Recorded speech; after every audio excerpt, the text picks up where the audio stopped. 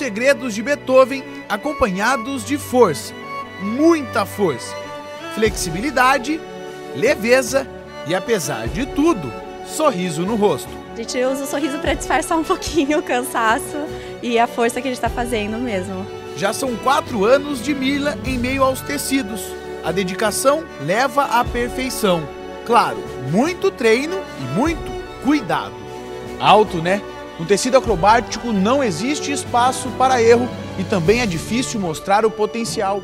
Isso porque as competições acontecem apenas uma vez por ano. Aí o jeito é agarrar a oportunidade. É uma mostra de circo amador e vai ter é, competições para amadores mesmo. É, competindo no tecido acrobático individual e dupla, vai ter competição de lira também e esse ano também começa uma categoria kids, né, para crianças, competição, é, numa competição.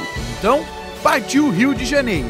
Aqui no Brasil tem pouquíssimas competições, essa que eu vou participar é a segunda edição ainda, é bem nova e acontece mais acho que uma ou outra em São Paulo. De resto no Brasil não tem nada mesmo. A competição vai ser dentro do circo do Marcos Prota. Então a altura às vezes é um pouquinho maior, o tecido é diferente, então a gente fica com o coração não, não. Mas assim, a gente tem a total confiança na Mila, que ela é uma aluna super dedicada, é, super competente, tenho certeza que ela vai arrasar lá. Um esporte individual. E olha que não é só na hora da prática. Todos os cursos é tudo individual, a, vontade também é tudo por conta própria. A torcida tá coletiva, tá a academia inteira torcendo, ontem ela mostrou para as crianças, ficou todo mundo na torcida.